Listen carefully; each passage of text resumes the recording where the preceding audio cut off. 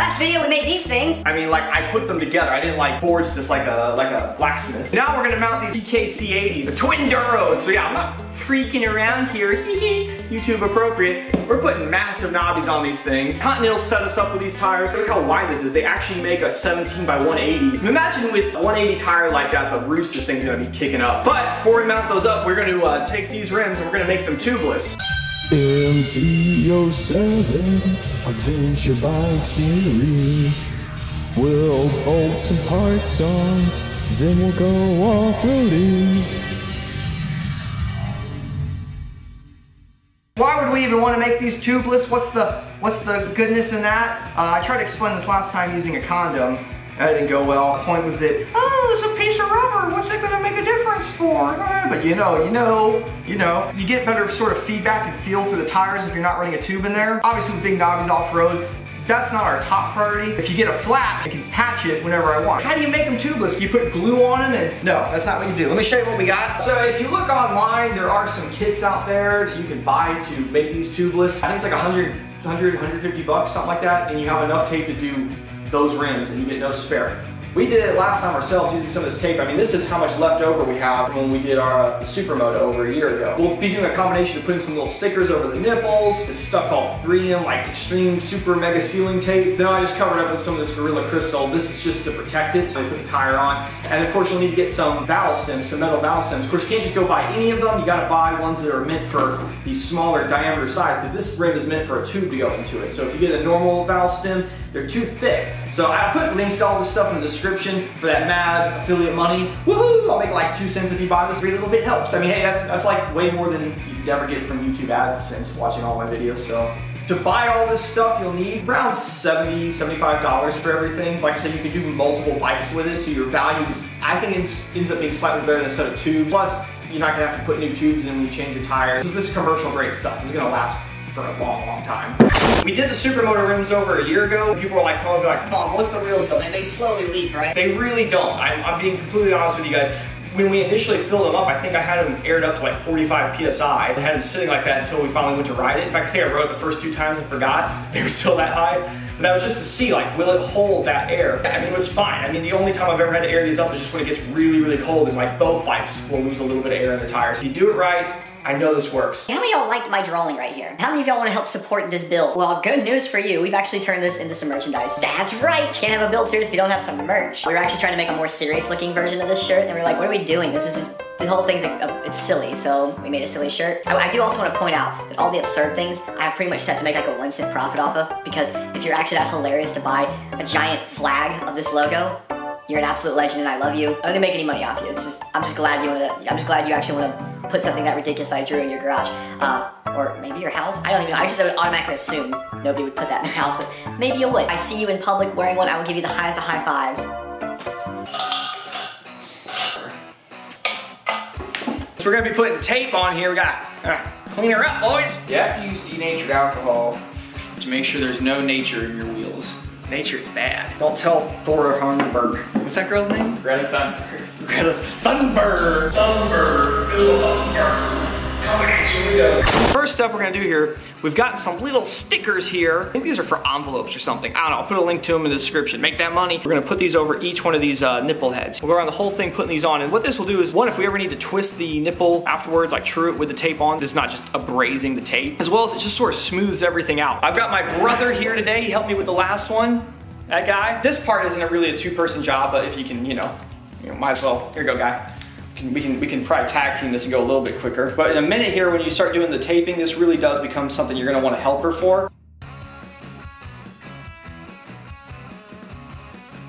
This is the magic to this stuff, the 3M Extreme Super Sealer. We've gone with the widest strip you can get with this stuff. What Ian's job will do is not only is he gonna tension, he's gonna make sure we don't do any wavy stuff. And my job is just basically gonna be to come down like this. And when we get to a nipple, so there's one right here, you don't just need to mash the nipple. You just kind of go around it like that. This one's super easy because of how wide this rim is and how wide this tape is. The deal is this has a lot of clearance beside the uh, beside Yeah, the we have a lot of surface area to make sure we're not on the. I think it was on the front rim last time. We had not as much clearance. We'd be very careful. If the tape went off a quarter inch in one direction, you'd have the nipple showing through. Yeah, and we almost had to like give it a little wiggle too. It was very, it was very uh, tedious. Don't let it crease anywhere all the way to the Yeah, edge. absolutely cannot crease. And that's something I've seen where people fail doing this. And you look at their video and there's just like creases in this. Like that's never gonna work if there's a crease in here. We started with this one because we knew it was just gonna be easier, like a refresher on how to do this. It'll sometimes look like it's creasing. You just, it's the top tape. There's like, so there's a really thin top layer that comes right off. A little bit, like kind of like, now bring kind of at an angle like that so we can make sure we're getting like right against it. Hmm. Come back around to our starting point and very carefully we will trim this now between the two of them. Don't scratch the powder coat. He's gonna go around the whole thing kind of working it like this, just making sure we're mashing it down. Not going over where the nipples are, that would be silly, but going right around them and just trying to see like, is there any little air bubbles, anything in there we think we can, we can work it a little bit tighter down.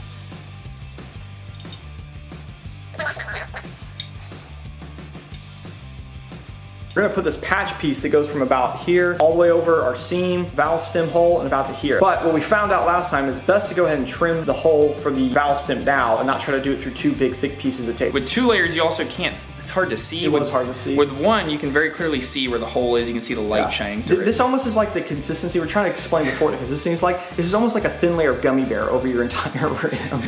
there you go. It was almost like wanting to heal itself there. This stuff is It's self-healing, yes. it's pretty incredible. No, like I cut it, you, you cut all the way through it, and then you're going to pull it off, and it's sealed itself again.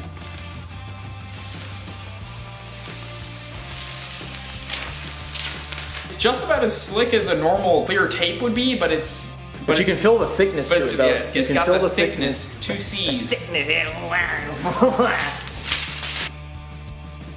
You kind Right of there, smooth across. right there. That's a good spot. Why didn't it go this easy before? Now we're using a brand new razor blade. Just letting the blade guide along that valve stem hole.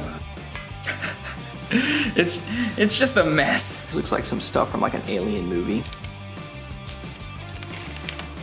This is just a protective layer over the top, not necessarily for the sealing. All right, now we'll do another strip right next to it. Make sure the overlap is on opposite sides Okay. the wheel balance. Sure. You gotta touch the bottom of the tape as much as possible. Mm-hmm. Yeah, I want, I want them to be able to identify me.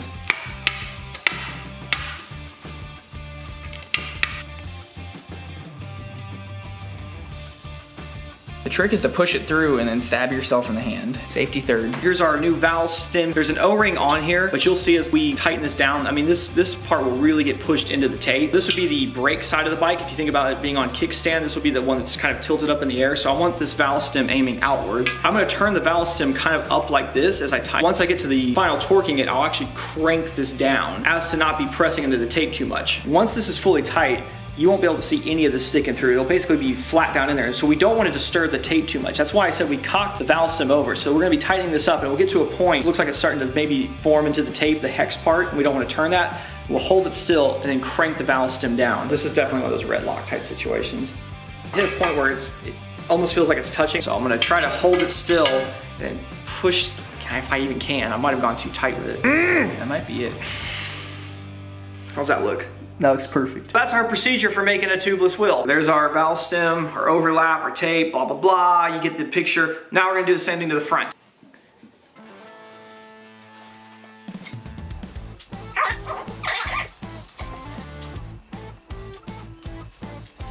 This is the tape that we used last time. It fits in the rim pretty nice. Doesn't leave a lot of room beside each nipple. Got this other tape that we actually used on the rear last time. We think it'll fit in there real nice. Might roll up the edges just a little bit, but it should give not enough to wrinkle. If it starts crinkling, we, we got stopped. We're gonna give this one a go. If it doesn't work, we can always go back to this one.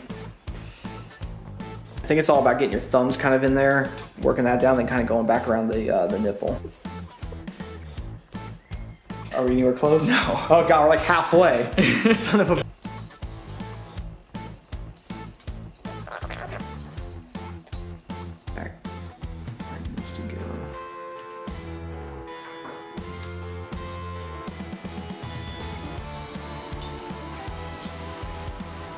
Now Ian's just going around the edges. We're just sort of mushing over a little bit of this adhesive that kind of came up on the sides here. You kind of see some spots where it's sort of fingering up a little bit.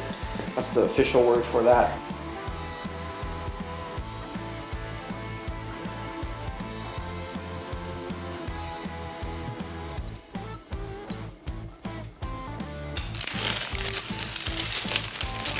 Just to keep it interesting, we're gonna peel off this protective layer before we recut the hole this time, just to just to see if it's different, see if it's any easier.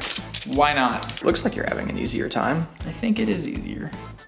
Kind of like we did with the rear this time, we're gonna do just a little overlap. Now you don't wanna go too far up this edge because this is where the tire is gonna see it. Get a big strip of it kind of laid down on the outside and watch, I'm gonna try to come in here and then bring it in here a little bit. And it might wrinkle a little bit. Remember, this isn't like a sealing tape, this is protecting, but we do like it up against the edge here if it's not wrinkled, just because it's that's helping mash down our main edge and adding just a little extra something there for the sealing.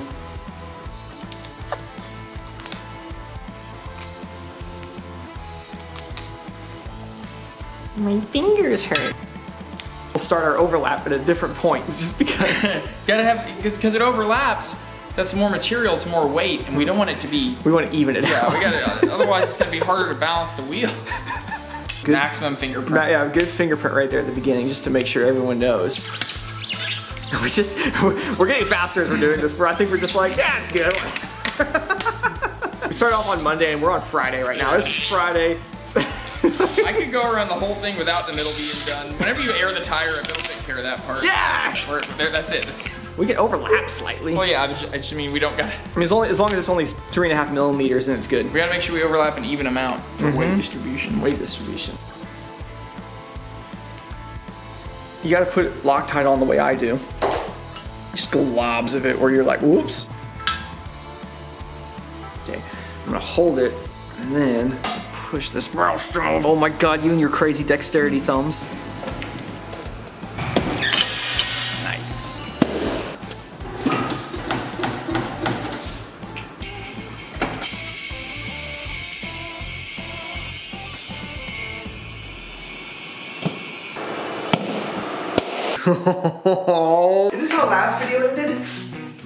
think someone pointed out in the last video, they said this whole video never actually did anything to the bike. Welcome to two videos in a row of actually not doing anything to the bike.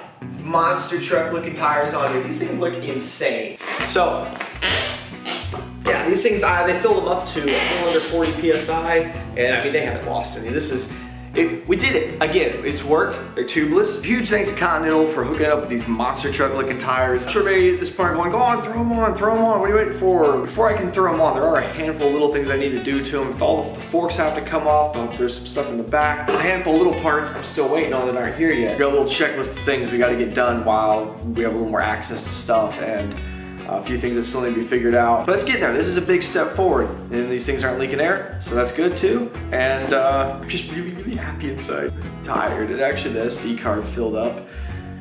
I had to go dump it and then like, just got distracted in there. I was so tired. It's like two in the morning I need to wrap this up for continuity reasons. I need to be wearing the same stuff I was wearing. Even though I'm sitting in the same spot I was, it's been like two, three hours. I'm gonna go to bed. See you next video. Is it, is it the tape or your or your hands that have this like fruity scent to them? Maybe Yoda is not Yoda. Shut up. It's the tape. The tape smells kind of like kind of like like It smells like chemicals and fruit. maybe like a. It's the back side of a screwdriver here, the polished end. This isn't a screwdriver. Some kind of bubble gum or something. Hey, come here. No, you're not putting that on my face. My insurance is lapsed on the camera. Hang on. Is it about people who plant clover lawns? No, it's about a dinosaur or something. I don't know. What the? F- you got it, guy. It's all up to you. Go, Ian. You got this. Okay. I'm rambling. It's gonna be really hard to edit like that. Let's try this again. Nobody likes you when you say stuff like that. I, I, I. It's a new formula for 2020. Yeah, gummy flavor. No. No. Like- like this, yeah, right? Yes. like That's this, that way it puts the air into the center of the tire. Uh. My hand's tired. It's good audio, right? So it's not. Yes. You can. Yes. Sorry, sorry. You're making a good point. I'm sorry. I'll shut up. Way to go, lad.